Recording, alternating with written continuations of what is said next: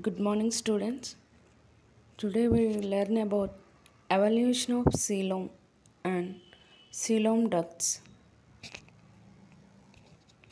First of all, we know about what is coelom. Coelom. The space between the body wall and elementary canal is called coelom.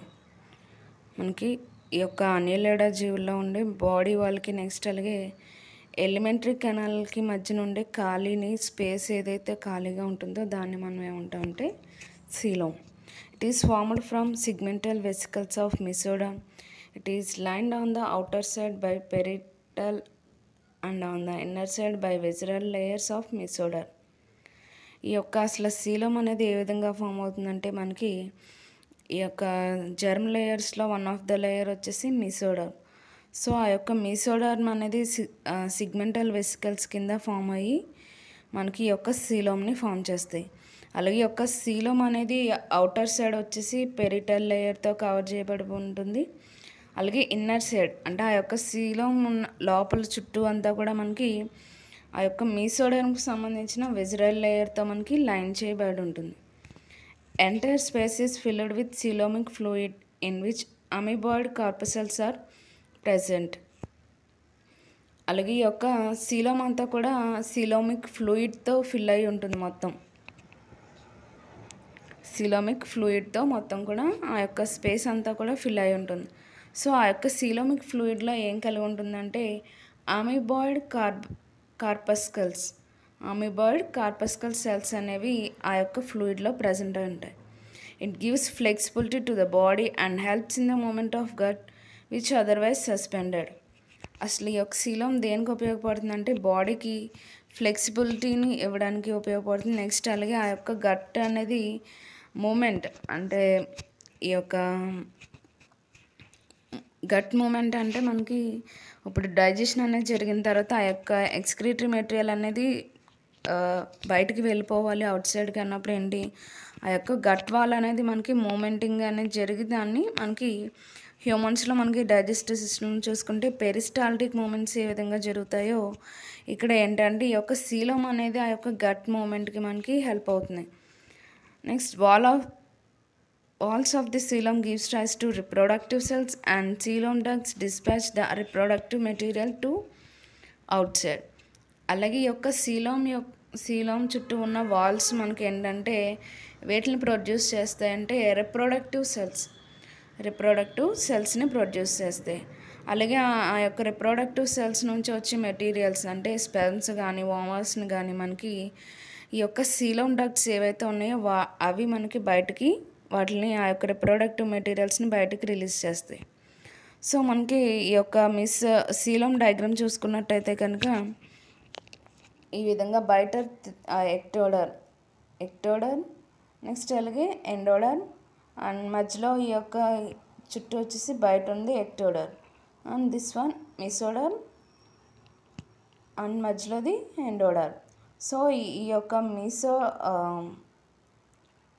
మీసోడానికి అలాగే ఎండోడానికి ఉన్న ఈ యొక్క white కలర్లో ఏదైతే ఖాళీ ఉందో అదంతా ఏంటంటే స్పేస్ క్యావిటీ. దాన్ని మనం ఏమని పిలుస్తామంటే coelom next during the development the mesoderm longitudinally splits into two layers namely somatic layer and splanchnic layer enclosing a cavity called coelom జనరల్గా మనకి అసలు ఈ యొక్క డెవలప్మెంట్ అంటే ఈ యొక్క అనిలేడ జీవుల నుంచి ఎగ్ నుంచి మనకి అవి అడల్ట్ స్టేజ్కి రావా రావాలి అన్నప్పుడు ఏంటి? డివిజన్స్ అనేవి జరిగి డెవలప్మెంట్ అనేది జరుగుతుంది. సో ఇక్కడ డెవలప్మెంట్ జరిగేటప్పుడు ఏంటంటే ఆ యొక్క మిసోడర్మ్ లేయర్ అనేది ఏమవుతుందంటే టూ లేయర్స్ కింద విడిపోతుంది స్ప్లిట్ అవుతుంది. సో ఆ యొక్క టూ లేయర్స్ నేమ్స్ ఏంటంటే somatic layer and splanchnic layer. Somatic layer and splanchnic layer. So ఈ యొక్క somatic layer and splanchnic layer అనేవి మనకి రెండు కలిసి ఒక క్యావిటీ అంటే ఒక గుల్లగా మనకి ఒక ఖాళీ ప్రదేశాన్ని క్యావిటీని ఫామ్ చేస్తాయి. ఆ యొక్క క్యావిటీని ఏమంటామంటే coelom. The greater part of coelom is present around various organs in the viscera and and is called perivisceral cavity or splanchnocoel అలాగే ఈ యొక్క మనకి సీలంలో చూసుకుంటే ఏంటంటే వేరియస్ ఆర్గాన్స్లో మనకి ఆ యొక్క విజరల్ క్యావిటీ విజ్రా అంటే మనకి ఏంటంటే విజరల్ అంటే ఈ యొక్క ఎలిమెంటరీ కెనాల్ దగ్గర ఉండే ఎలిమెంటరీ కెనాల్ యొక్క వాల్ దగ్గర మనకి పైన లే ఉండే మెమ్రైన్ని విజరల్ మెమ్రైన్ అంటాం. సో ఇక్కడ విజరల్ దగ్గర కూడా మనకి ఏంటంటే ఈ యొక్క సీలోమ్ అనేది ప్రజెంట్ అయి ఉంటుంది. దాన్ని ఏమంటారంటే perivisceral cavity or splanchnocoel అంటారు. So it is filled with a fluid. ఇక్కడ ఈ యొక్క పెరీ విజరల్ క్యావిటీ కూడా మనకి ఈ ఫ్లూయిడ్తో నింపబడి ఉంటుంది because of this packing the viscera remains independent of the movements of the muscles of the body wall so ఈ యొక్క విజరాల దగ్గర మనకి ఏంటంటే ఫ్లూయిడ్తో ఫిల్ అయి ఉండడం వల్ల ఏంటంటే మన బాడీ వాల్కి ఆ యొక్క అనిలెడాల్లో మనకి బాడీ వాల్ యొక్క మజిల్స్కి మీద డిపెండ్ అవ్వదు. అంటే ఆ యొక్క విజరల్ మెంబ్రెయిన్ యొక్క మూమెంట్స్ కానీ అది వచ్చేసి మనకి దేని మీద డిపెండ్ అవ్వకుండా ఉంటుంది అంటే బాడీ వాల్ యొక్క muscles. Perivisceral cavity of polychaetes is divided by a series of transverse partitions or septa extending between body wall and gut. So మనకి ఈ యొక్క అనిలడ క్లాసిఫికేషన్ చూసుకున్నట్టయితే త్రీ క్లాసెస్ ఉన్నాయి polychaetes ఆల్గోకిడ్స్ and హైరోడేనియా.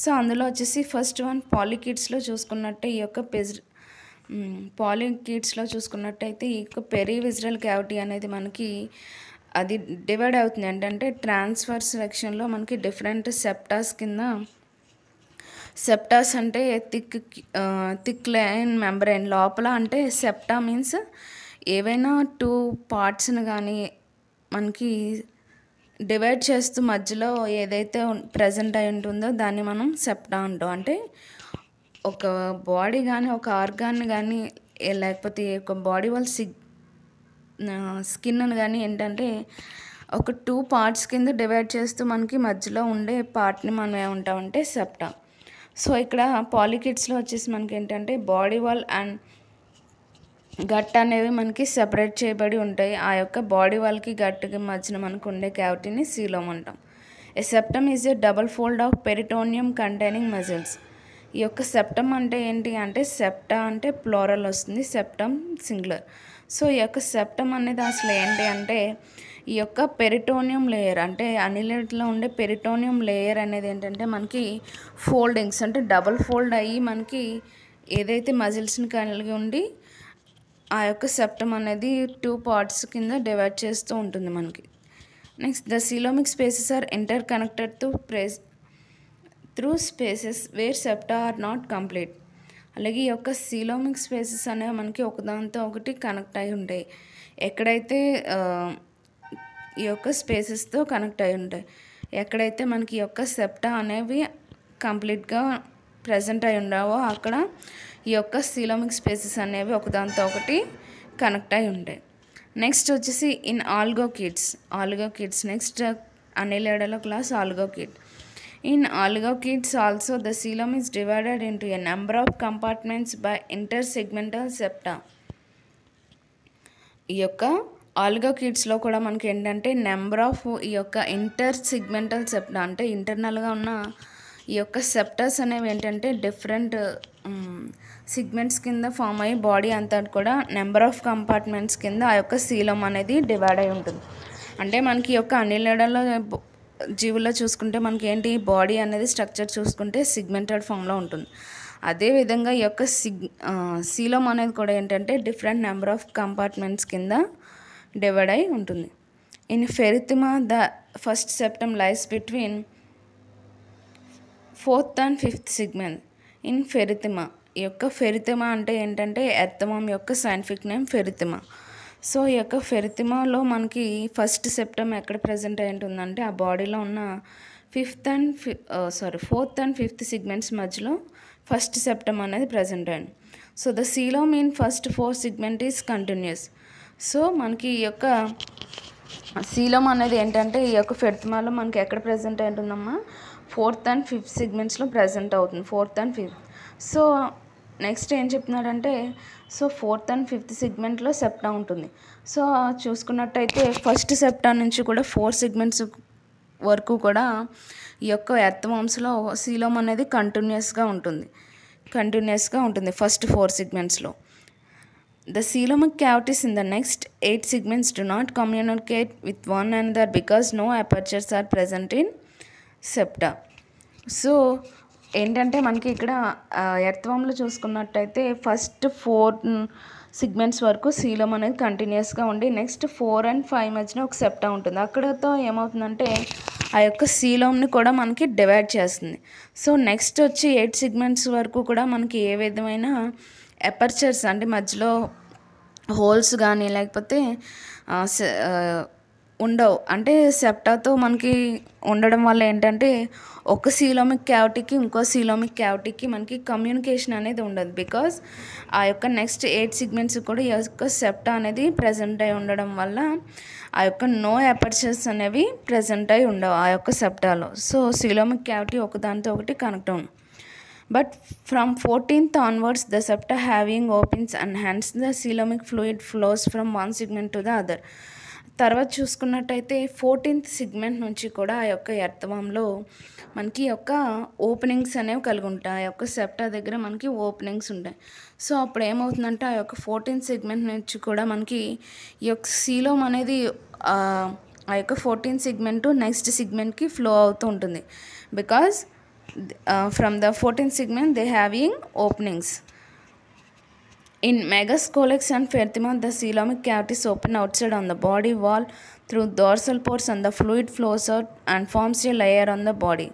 This is protective in form function అలాగే ఈ యొక్క ఫెర్తిమాలో అంటే లీచెస్లో కానీ మెగాస్కోలెక్స్ అన్యులెట్స్లో మనకి ఏంటంటే ఈ యొక్క సీలోమిక్ క్యావిటీస్ అనేవి ఏంటంటే బాడీకి అవుట్ సైడ్ని కూడా అంటే బాడీ బయట స్కిన్ మీద కూడా ఈ యొక్క సీలోమిక్ క్యావిటీస్ అనేవి ఆ యొక్క అవుట్ సైడ్కి ఓపెన్ అయి ఉంటాయి. అంటే బయటకు వచ్చే విధంగా కూడా పోర్స్ అనేవి బాడీ అంతా ప్రజెంట్ అయి ఉంటాయి.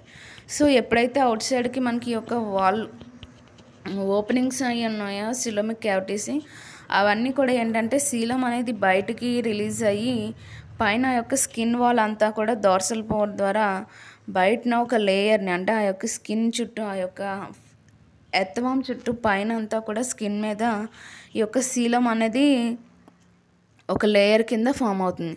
సో ఆ యొక్క లేయర్ మనకి దేనికి యూజ్ అవుతుందంటే ఆ యొక్క ఎర్త్వామ్స్కి ప్రొటెక్టివ్ కింద ప్రొటెక్టివ్ లేయర్ కింద యాక్ట్ చేస్తుంది. ఈ యొక్క సీలమిక్ క్యావిటీస్ అనేవి ఉమ్, బయటకి ఓపెన్ అవడం అయి ఉండడం వల్ల ఆ యొక్క దోర్సల్ పోర్స్ నుంచి మనకి సీలం అనేది బయటకు రిలీజ్ అవుతుంది. రిలీజ్ అయ్యి ఆ యొక్క అవుటర్ సైడ్ బాడీ సర్ఫేస్ మీద ఒక లేయర్ని ఫామ్ చేస్తుంది.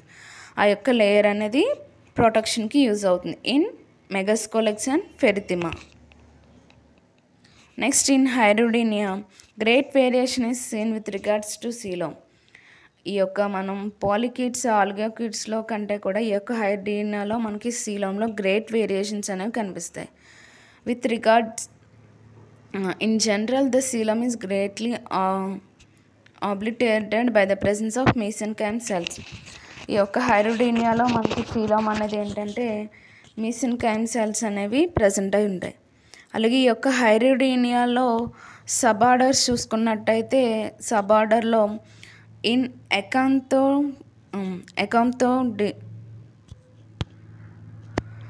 ఈ హైరిడీనియాలో మళ్ళీ ఏంటంటే మనం క్లాసిఫికేషన్లో చూసుకున్నట్టయితే దీంట్లో మళ్ళీ ఏంటంటే త్రీ ఆర్డర్స్ని కలిగి ఉంటుంది హైరిడీనియాలో.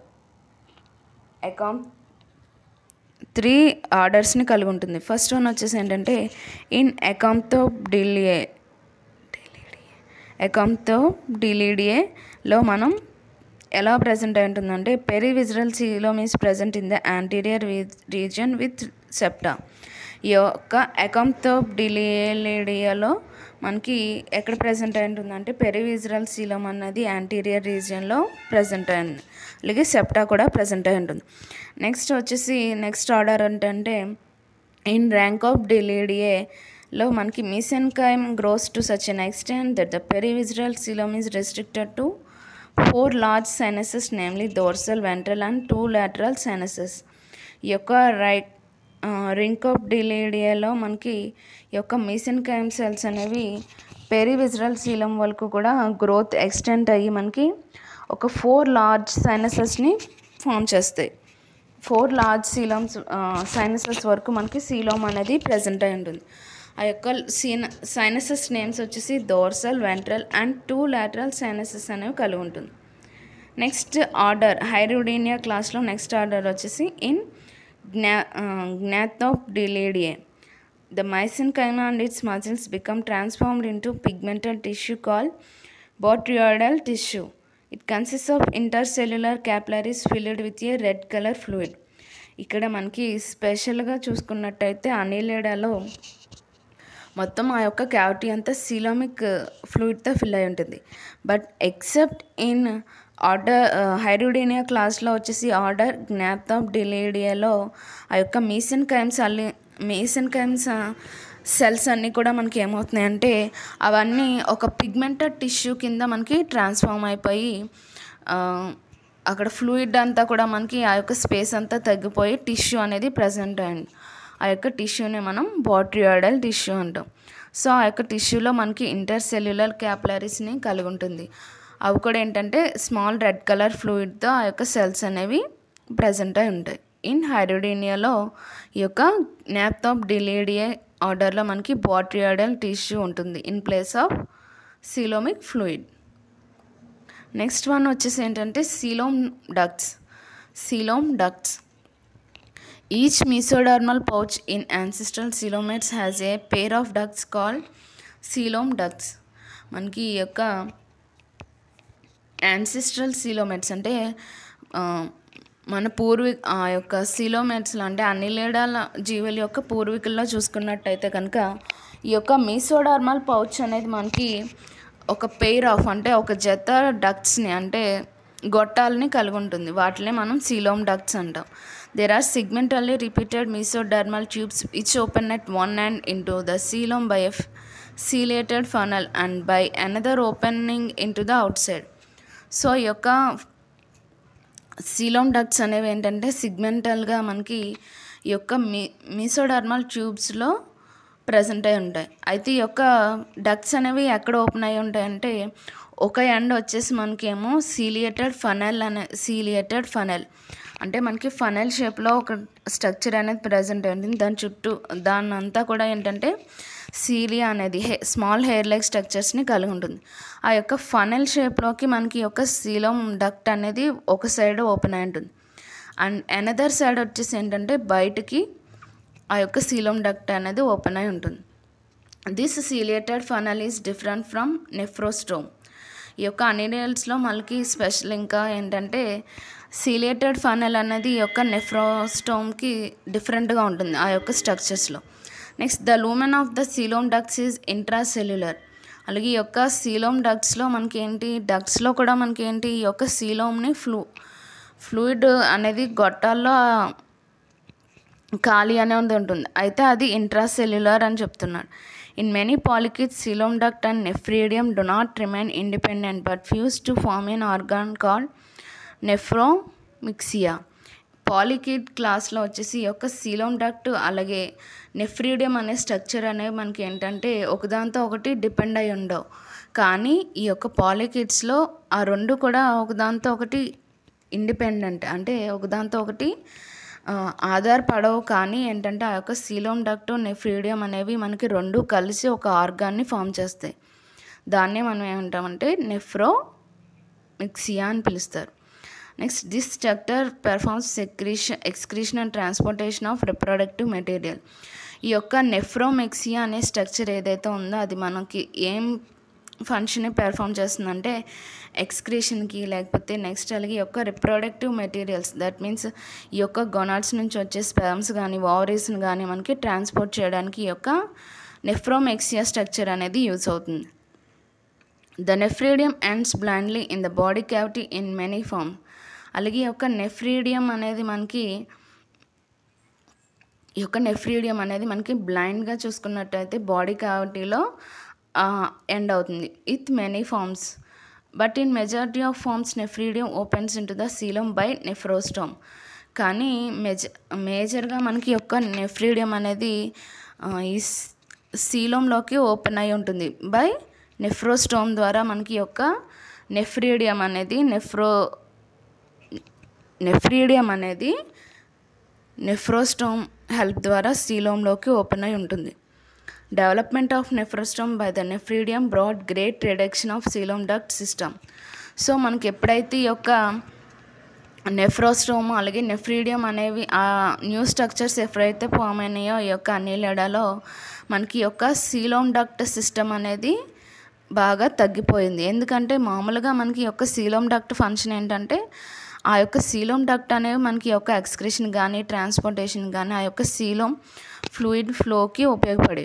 కానీ ఎప్పుడైతే మనకి ఈ యొక్క ఎవల్యూషన్లో మనకి ఆ యొక్క పూర్వ పో యొక్క అనిలడ జీవుల యొక్క పో పూర్వీకుల నుంచి వచ్చే కొద్దీ ఆ యొక్క ఎవల్యూషన్ జరిగే కొద్దీ మనకి ఏంటంటే ఈ యొక్క స్పెషల్ స్ట్రక్చర్స్ అంటే నెఫ్రోస్టోమ్ కానీ నెఫ్రీడి అనేవి ఎప్పుడైతే ఫామ్ అయినాయో అప్పుడు మనకి ఈ యొక్క సీలోమ్ డక్ట్ సిస్టమ్ అనేది పూర్తిగా తగ్గిపోయింది. So it is represented as a ciliated organ so దీన్ని ఏ విధంగా రిప్రజెంట్ చేయొచ్చు అంటే ఈ యొక్క సీలియేటెడ్ ఆర్గాన్ కింద మనం దీన్ని రిప్రజెంట్ చేయొచ్చు. సో ఇది ఏంటంటే evolution of coelom and coelom ducts అంటే మనకి ఈ యొక్క అన్నిళ్ళడ జీవుల్లో అసలు ఈ యొక్క సీలోమ్ అనేది ఆ యొక్క సీలోమ్ అలాగే సీలోమ్ డక్స్ అనేవి ఏ విధంగా ఆ యొక్క క్లాసెస్లో కానీ నెక్స్ట్ వాటి యొక్క పాలికిడ్స్లో ఏ విధంగా ఫామ్ అవుతుంది ఆల్గో కిడ్స్లో ఏమో విధంగా ఫామ్ అవుతుంది అసలు ఈ యొక్క సీలం అనేది ఏ ఏ విధంగా ఎవలప్ ఎవల్యూట్ అయ్యింది అంటే ఆ యొక్క పూర్వీకుల నుంచి కూడా ఆ యొక్క డెవలప్మెంట్ దగ్గర నుంచి కూడా మనకి ఆ యొక్క క్యావిటీ అనేది ఆ యొక్క ఖాళీ అనేది మనకి ఏ విధంగా ఏర్పడింది అనే దాని గురించి మనం ఇందులో మనం ఈ విధంగా తెలుసుకున్నాం. Evolution of coelom and coelom ducts. Thank you.